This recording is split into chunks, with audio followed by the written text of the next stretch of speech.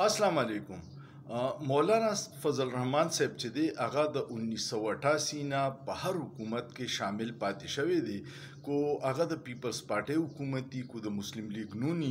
کو د مشرف دوري او کو د دوی دوانو مشترکه حکومتي نو مولانا صاحب پکې خپل حصہ پورا غستی په اول ځلغه د اقتدار نه بهر دی نو ډېر ستغه او دغه خبرې کوي د اسټابلیشمنت ته نظام ته خو ابله ورځ ورسره محسن نقوی چې د وزیر داخله او د اسټابلیشمنت غټ نماینده هغه ور سره په 23 مې باندې په 45 منټ ملاقات کړي او دا هغه ورځ وی چې کله د تحریک انصاف دفتر ماتو په اسلام آباد کې دا غینه پس هغه یو بیان ورکو زما موضوع نن د دوی هغه بیان دی هغه وی چې زه ملک په پریدم خو غلامی نه قبلوم د دې نه مخکې عمران خان ویلي و چې نه ملک پرېږدم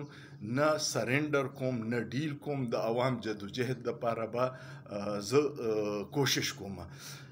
مولانا صاحب دا بیان داسې دی چې لکه ته عوام یوازې پرېږدې او